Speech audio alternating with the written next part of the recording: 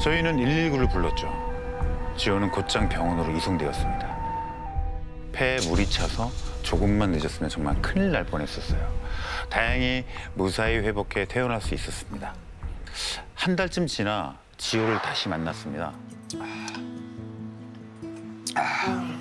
야, 내가 장담하는데 다시는 바다, 물가, 계곡 절대 안 간다, 진짜. 그래도 그날 이후로는 뭐 별일 없이 잘 지낸다고 했습니다.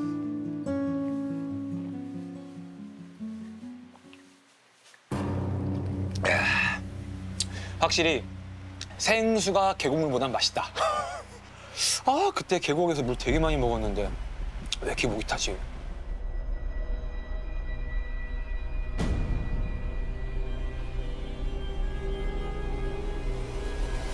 다음 날 아침부터 지호에게 계속 전화가 왔습니다.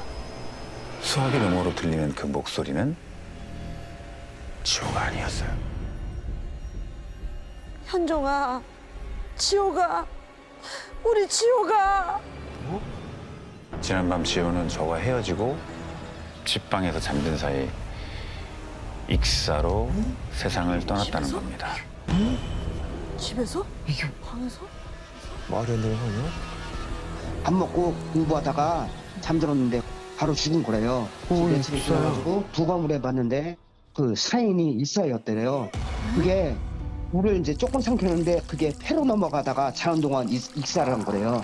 그런 상황을 말원 익사라고 얘기를 우와. 하더라고 다른 사람들 얘기 들어보니까 아물 때문인가? 귀신 이제 방해를 했으니까 그 귀신이 저주를 건가 이제 그런 생각이 좀 들어가지고 지호가 물에 던졌던 돌 하나가 비극의 시작이었던 걸까요? 아, 그날 계곡에서 지호의 마지막은 살려줘.